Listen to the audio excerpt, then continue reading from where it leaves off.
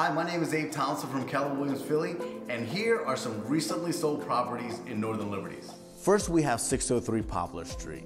This gorgeous interior unit was sold in less than 30 days for more than the corner unit, which was 400 square foot larger at a great price of 780,000. Next, we have 1134 North Orianna Street. This modern townhome was sold in a short period of time for a great price of 465,000.